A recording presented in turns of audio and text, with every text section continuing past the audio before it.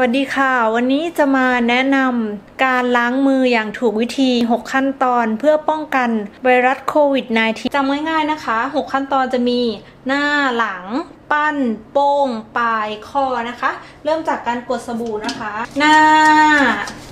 หลัง แล้วก็ปั้น โป้ง ปลาย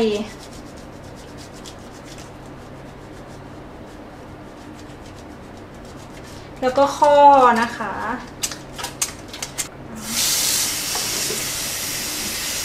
เสร็จเรียบร้อยนะคะ แล้วก็ล้างมือออกได้เลย อย่าลืมนะคะ หน้าหลังปั้นโป้งปลายข้อจำง่ายๆค่ะ ขอบคุณค่ะ